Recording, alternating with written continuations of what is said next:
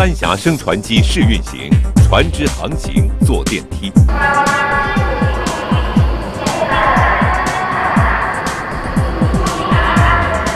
难度最大，爬升最高，三峡升船机如何突破技术难题？综合技术难度如此之大，规模如此之大的事情，欢迎收看《经济半小时》。沪深股市今天仍然没有出现反弹。报告显示，地产企业的资金链已经相当脆弱。在珠三角地区，其中一部分中小企业正在想办法解决融资难的问题。观众朋友，大家好，欢迎您收看《经济半小时》，我是主持人雨飞。重大工程是一个国家实力的重要体现，它和国家的经济建设、百姓的日常生活息息相关。从今天开始，我们栏目将连续五天报道近期我国在重大工程项目上所取得的重要成就。今天的节目，我们首先把目光投向三峡。举世瞩目的三峡大坝，就像是一条巨龙截断奔流的长江，高峡平湖的景观蔚为壮观。三峡大坝上下游水位落差最高是超过一百一十米。那么问题就来了。长江上航行的各类船只怎样通过这一百多米高的大坝呢？我们来看看记者的报道。这里是世界上迄今为止最大的水利枢纽工程——长江三峡大坝。九月十八号，一个举世瞩目的工程在这里揭开了神秘的面纱，它就是三峡升船机。作为工程的收官之作，三峡升船机是三峡水利枢纽的永久通航设施之一。布置在枢纽工程左岸，三峡升船机过船规模三千吨级，最大提升高度一百一十三米，乘船箱及其设备加水后总重量约一万五千五百吨，只需约四十分钟就可以完成近四十层楼房高度的垂直升降。有人将它形象地比喻为船舶电梯。这也是目前世界上规模和技术难度最大的船舶电梯。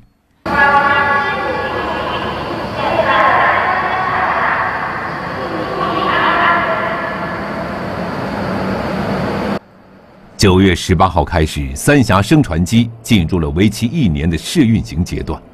工作人员一方面要通过试运行熟悉各个环节的操作流程，一方面要在现场进行相关调试，确保三峡升船机在正式通航后运行的更为平稳安全。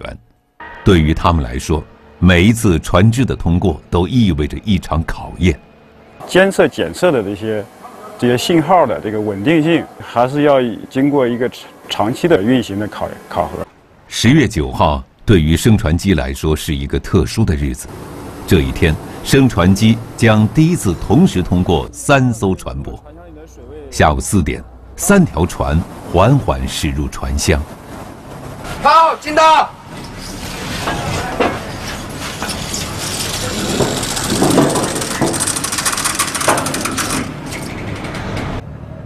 在现场工作人员的协助下，船只依次驶入船厢，封闭门升起，船厢与下闸守门间隙的水被排除，船厢开始平稳上升。约九分钟后，三艘船舶从八十四米高程提升到一百七十三米高程，驶入上游。随后，三艘船只又从上游返回。长江电力，请讲，请讲，我长江电力。来自走船，你就直接停箱开信号停箱就行了。好的，好的，直接走头船。好的，谢谢。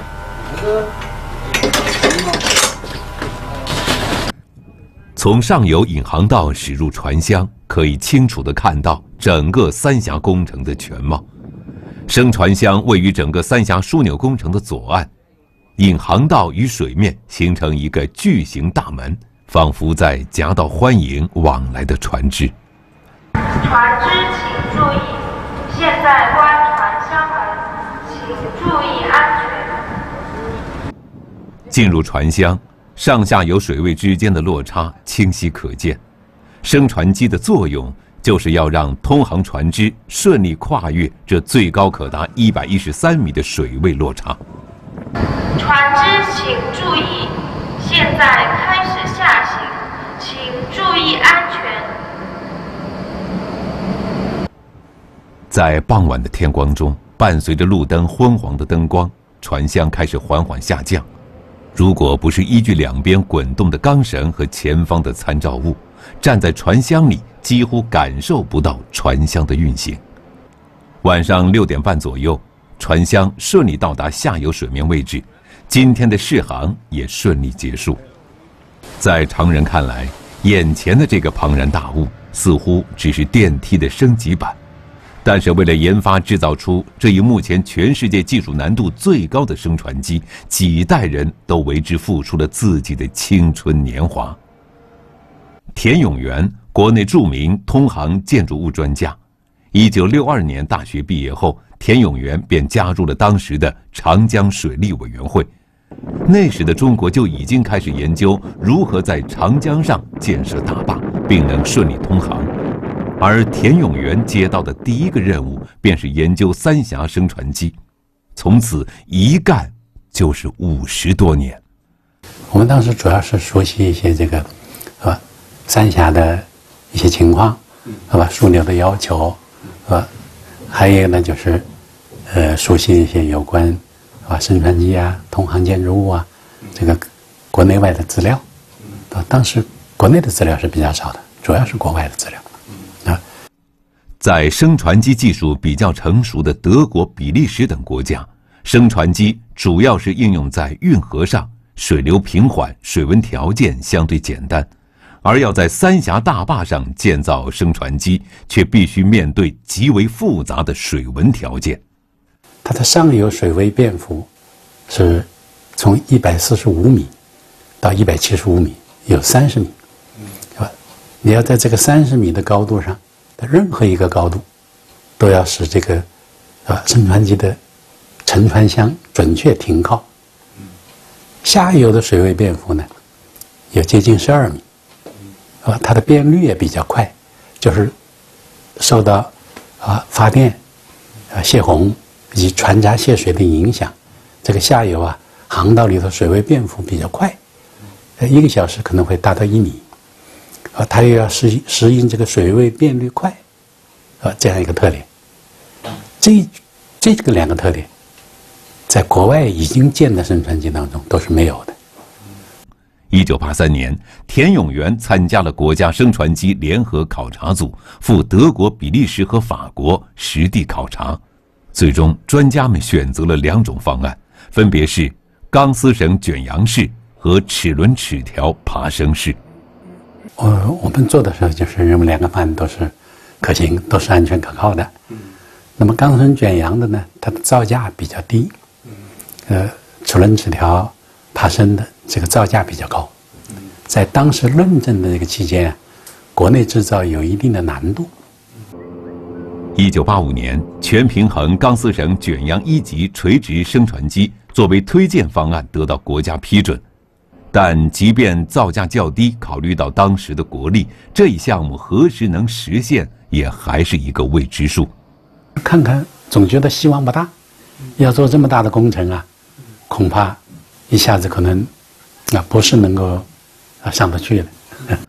一九九四年，三峡大坝正式动工，但是作为三峡大坝主体工程的一部分，三峡升船机却迟迟没有动静。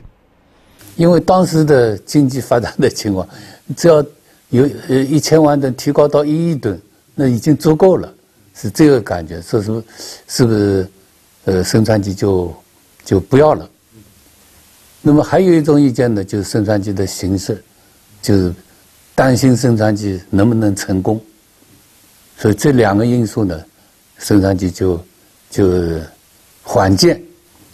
最初，三峡升船机选用的方案是钢丝绳卷扬式，但是作为原中国长江三峡总公司总经理，二零零三年七十岁的陆幼梅考察了德国的尼德芬诺升船机，这座当时已经安全运行了七十年的升船机，采用的是齿轮爬升方式。尼德芬诺，呃，升船机是运行了七十年，我那年正好是七十七十岁。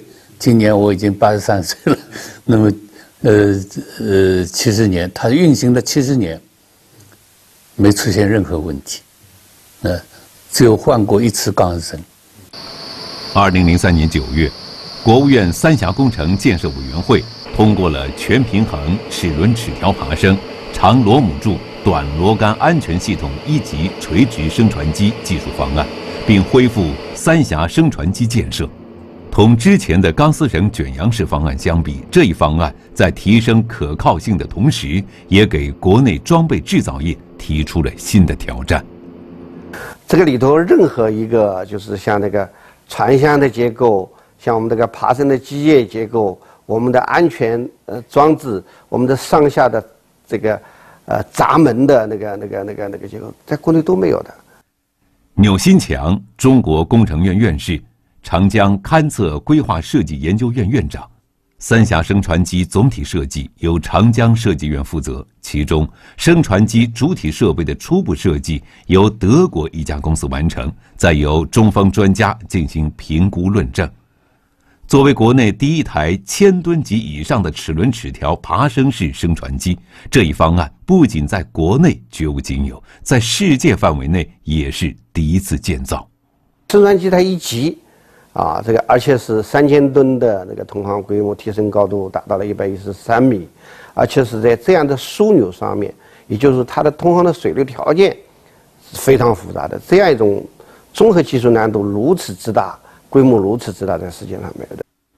钮新强院士告诉记者，从上世纪五十年代算起，国内先后有一百多家单位、数千名人员投入到三峡升船机相关课题的攻关中。随着齿轮齿条爬升式方案的推出，又有多家国内装备制造企业投入研发。摆在这些人面前的一个首要问题就是：三峡升船机究竟能否建成？像这个船箱啊，这样一种复杂的一个结构啊，你怎么样把它制造成功？包括你能不能这个在我们这个船箱这个狭这个船箱室这样一个狭小的空间里头，按照相应的精度要求。啊，把它整体的拼装完成。早在1788年，英国就建造了世界上最早的机械化升船机。1934年，德国建造了尼德芬诺垂直升船机。升船机发展到了一个新的阶段，提升的船舶吨位增大，提升的高度增加，类型也不断增多。但是，像三峡升船机这样的规模，在世界上都没有先例可循，这也给技术攻关人员带来了新的挑战。为了验证三峡升船机的原理，国内先后在湖北清江隔河岩和福建水口建设了两座升船机，作为三峡升船机的试验机。三峡升船机的中间试验机就是清江隔河岩升船机，应该是九三年开始启动了，所以我们就是这个团队，当初九十年初组建团队，就参与了这个清江隔河岩升船机的这个建造工作。二零零三年。作为武汉船舶工业公司升船机项目的负责人，张世平重新组建了升船机项目的团队。此时，真正的考验才刚刚开始。眼前的这个长方形的部件，就是升船机的主体结构——船箱。三峡升船机船箱有效尺寸：长一百二十米，宽十八米，水深三点五米，容积相当于四个奥运会标准泳池。这是中国企业第一次制造规模如此巨大的船箱。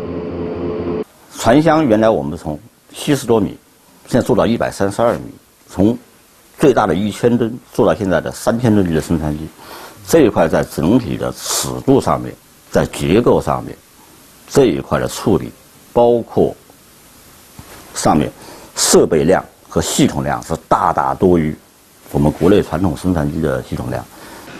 对于黄兴来说，升船机船箱本身并不陌生。国内第一个提升重量为千吨级的升船机，便由这家企业制造。不仅如此，黄兴所在的集团参与了目前国内百分之八十以上的升船机项目。但是这次作为三峡升船机船箱的总装厂，船箱不仅在规模上，也在技术上给黄兴带来了全新的挑战。此前。世界最大垂直升船机位于比利时中央运河，其过船规模为一千三百五十吨级，提升总重量为八千八百吨，最大提升高度为七十三米。而这一次，三峡升船机过船规模为三千吨级，提升总重量为一万五千五百吨，最大提升高度为一百一十三米。不仅如此，巨大的船箱还必须在大坝现场安装完成。为了保证家里面预留的这种加工余量，在现场的变形量尽可能小，我们当年在家里面把这个船箱的端头的这个分段做成了一个整分段。当时它最大分段一百八十四吨，尺寸最大的不是它，尺寸最大的呢是重量分段，它的重量只有一百二十多吨，但是它的尺寸达到了二十四米五，然后高度达到了十米。整个船箱结构重量约为五千吨，需要分段进行制造运输，最终在现场焊接拼装。这里的难点在于，如果分段多了，现场焊接拼装变形更大。精度难以控制，如果分段少了，运输和现场吊装就会困难重重。最终，黄兴决定将船箱分为五十一段，整个一百三十二米长的船箱，要求的最后全部到现场分段焊接完了以后成型以后，要求是正负十个毫米这个公差，只有几毫米的误差，难度巨大。即使是只考虑热胀冷缩和变形，也可能会超过这个标准。而为了保证现场的安装精度，黄兴不仅在电脑上通过仿真进行模拟试验，还在出厂前组织技术员们在工厂内将五十一个部件进行了一次完整的拼装试验。也就是说，现场现在船箱是什么样？家里面除了没焊以外，全部把它组装了一次。这样的话，把所有的接口问题。全部消化了，检验，包括核对我们的所有数据和接口，把所有的余量全部切割完，所以我现场是无余量的。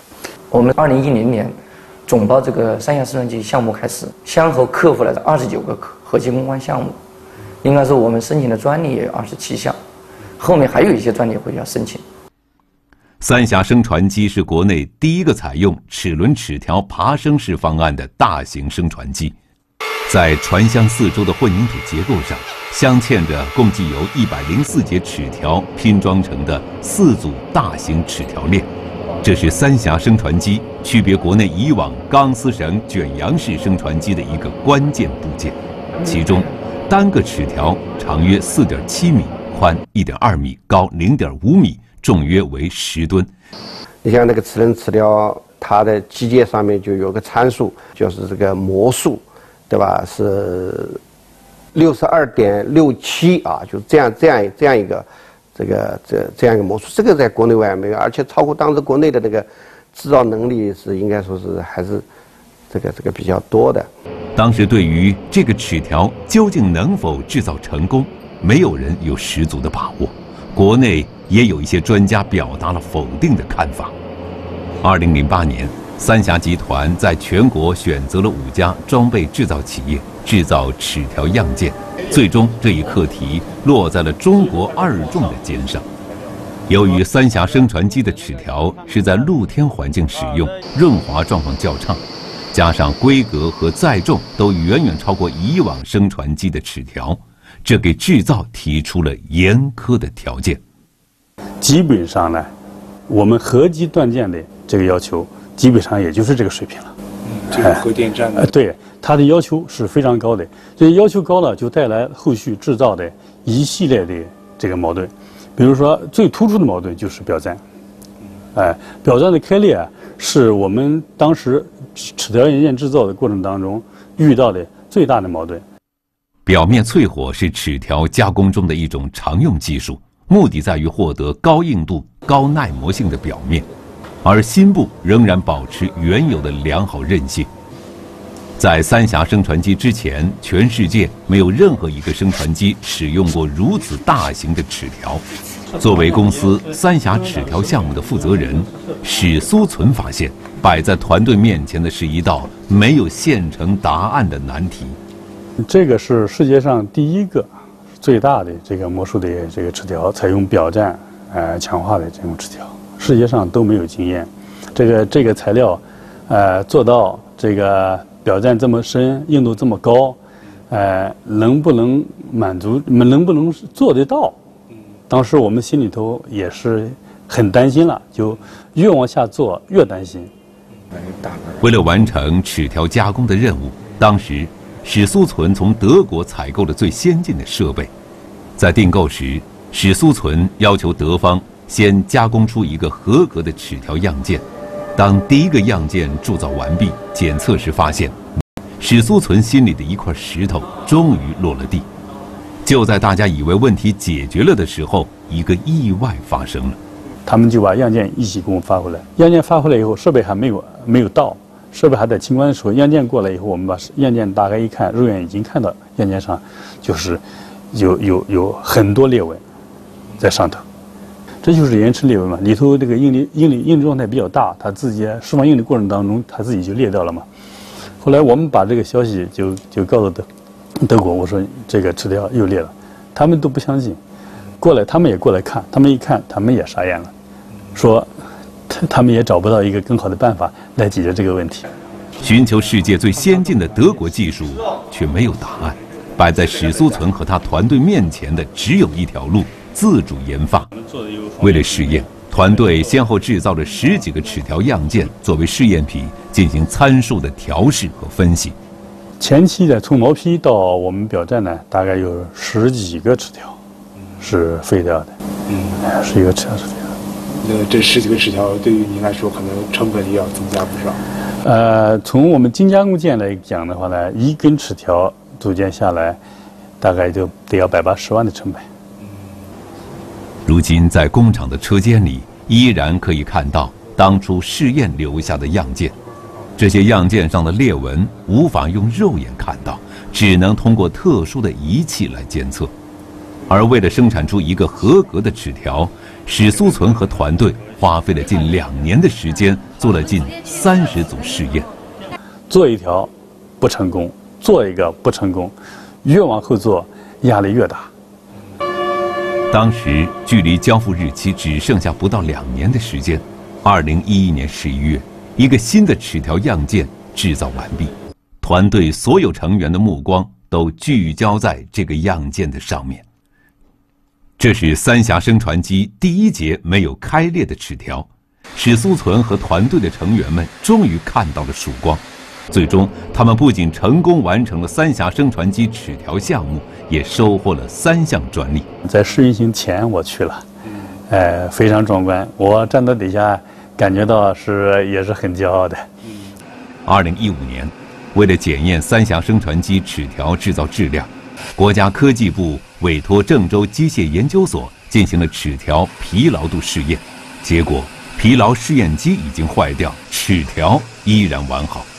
经过初步的试验测算，三峡升船机齿条的运行寿命可达七十年。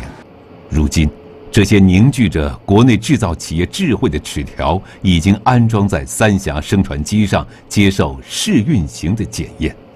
所有的技术进步都来源于用户的苛刻要求。我想，三峡的这个项目呢，它的要求在铸件上、在表面占有上头、在齿条制造方面呢，已经达到世界顶端要求了。所以我们完成了这个要求呢，一个对我们整个企业的制造能力的提升，和我们整个的这个团队有很多小年轻参与到这个项目当中来，很多对我们人才队伍的建设都有很大的促进作用。技术突破培养了专业人才，三峡升船机采用的齿轮齿条爬升式升船机十分的安全。即使是在船厢水漏空、沉船和地震等任何事故工况之下，都能够确保不发生沉船箱坠落等重大事故。升船机的顺利运行也有效地缓解了长江三峡通航压力。在三峡升船机通航之前，五级船闸是三峡枢纽工程的唯一通航设施，这也是世界上规模最大的内河船闸。全长六千四百米，其中船闸主体部分一千六百米，引航道四千八百米。截至二零一六年六月十六号，三峡双线五级船闸已经安全高效运行十三周年，货物累计通过量九点一六亿吨。这个五级船闸每一级等于爬楼梯一样了，都要上升二十几米，那么一公分五就给它抬上去，或者下来也都是，就等于一个楼梯的概念。那么有一些船舶可能有紧急任务，那么希望能够快速的通过。那么升船机是一个辅助的通航设施，有快速任务的，有个别的船有紧紧呃有时间要求的，运送的物资也好，客轮也好，都可以通过。陆佑梅院士告诉记者：“三峡升船机作为三峡枢纽的辅助通航设施，旨在为客货轮等需要快速通过或执行紧急任务的船舶提供专用通道。随着三峡经济带的开发和‘一带一路’战略的提出，长江作为黄金水道的作用日益凸显。三峡升船机不仅可以给船只节约两小时左右的通航时间。”正式通航后，预计每年将替五级船闸分流几百吨的运量。很多升船机啊，就是呃，有的时候停停开开是吧？就是它当那个河河道的运量没那么大，长江的运量不一样，呃，所以在这个地方要做一个是吧？呃，能够保证它是吧？三百三十天能够正常运行，每天二十二小时能够。正常运转的这样一个生产机。如今，距离田永元参与三峡升船机项目的研发已经过去了半个多世纪。在田永元看来，三峡升船机的制造不仅是完成了一项世界一流的工程，实现了几代人的梦想，更是为今后国内装备制造行业培养了一批一流的团队。它最大的优势是锻炼培养了我们。设计、制造、安装的这样一个队伍，对吧？呃，这是一个广大的队伍，啊，将来我们在这个领域，啊，我们更有啊话语权，啊，这样的升船机，可能今后不会再做这么全的，呃，但是通过这个升船机，我这批队伍在这儿，是吧？我这个实力在这个地方。以前呢，船只过大坝都是通过三峡双线五级船闸。如果进入上游，一艘艘载着货物和旅客的巨轮要依次进入五个闸室，拾级而上，步步高，被人形象地称为是爬楼梯。而随着长江水运量日益增长，三峡枢纽通航能力趋于饱和，升船机应运而生，也就是在通航河流的大坝上建造一座供船舶乘坐的快捷电梯。形象地说呢，就是大船爬楼梯，小船坐电梯。三峡升船机投入运行之后，符合条件的船舶可以借助升船机电梯式的通过三峡大坝，过坝的时间可以由目前的三个多小时缩短至大约四十分钟，这将有助于进一步提高三峡水利枢纽的航运通过能力，促进长江黄金水道通航效益以及社会经济效益的充分发挥。